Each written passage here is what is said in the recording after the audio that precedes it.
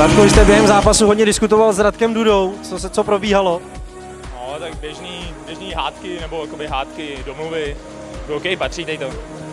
E, vypadalo to, že možná se i po, poperete. A tak přátelák, tak mě by to nevadilo, jo, ale vypadalo, že se mu moc nechce. A jak to vlastně celé vzniklo, protože jednou, v jednu chvíli jste se tam objevili úplně sami hodně blízko sobě.